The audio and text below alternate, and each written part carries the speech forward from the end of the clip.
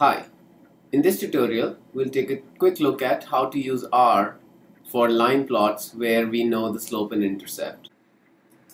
So we will be using the ggplot2 package for R and ggplot2 is a data visualization package and uh, for more details you can look at the website address that is given here.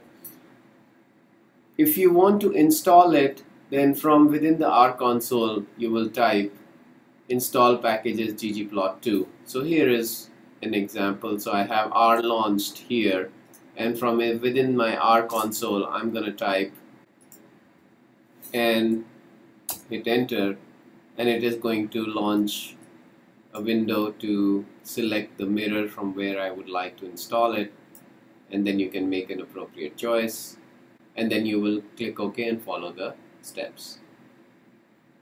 So now let's get started with the drawing the plot of a line. And the first step is we will load the package ggplot2 in the R console and in our environment. So I'm going to type in now the functions available from ggplot2 and objects from ggplot2 are available to us within our namespace.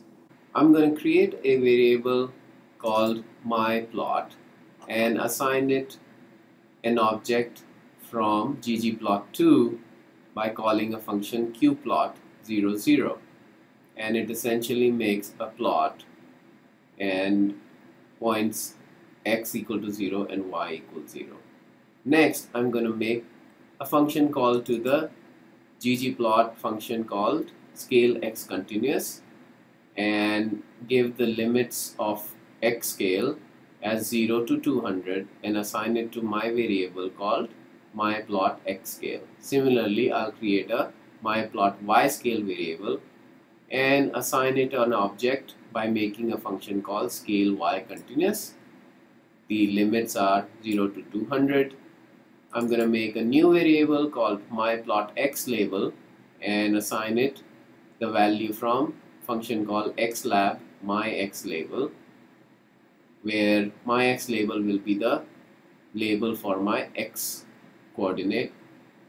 And similarly for y coordinate I'm creating a label object my y label and then the overall title of my graph I'm naming it as my graph title.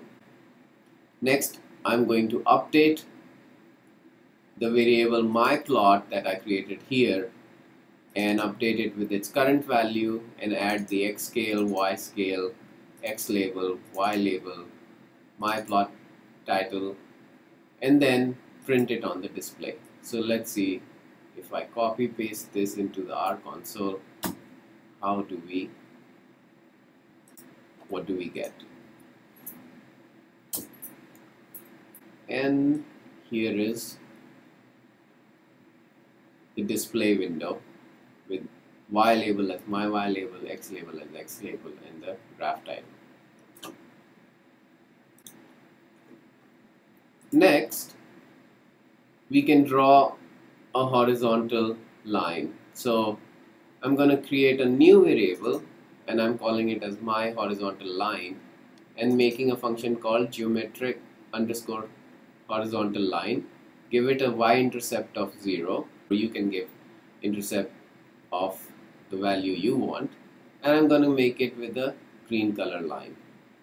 Similar to what we did earlier, I'm going to update the my plot variable with its current value and the horizontal line. And let's see. Copying it and pasting it into the R console.